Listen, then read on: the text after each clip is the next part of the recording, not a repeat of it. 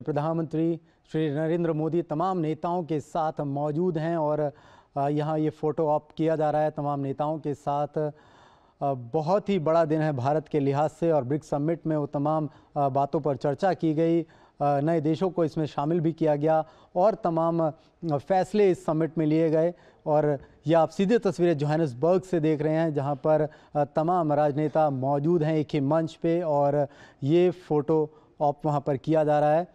काफ़ी इंपॉर्टेंट है ये ब्रिक्स समिट अगर देखें तमाम देशों के लिहाज से।